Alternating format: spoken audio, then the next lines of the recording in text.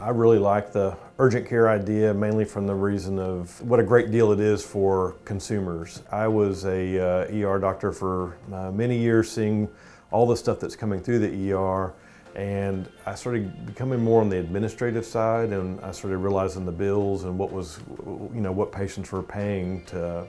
to come see a doctor in the ER. First urgent care I, I realized that you know the average ER bill is going to be about $2,000 uh, and we found that we could do 80% of the things that go through the ER, we could do the uh, very similar treatments for 120 bucks, 130 bucks. Uh, when I was a kid, uh, it seemed like if you know if you fell down and hurt your ankle or you fell and hurt your wrist, it, the mom's first thought was Let, us go to the ER and get an X-ray. Uh, and, and that used to be, you know, the only place you could go to get things done in real time, fast, those kind of things. But nowadays, why would you go to an ER to get an x-ray when you can go to an urgent care and do the same thing for uh, not even 10% of the cost?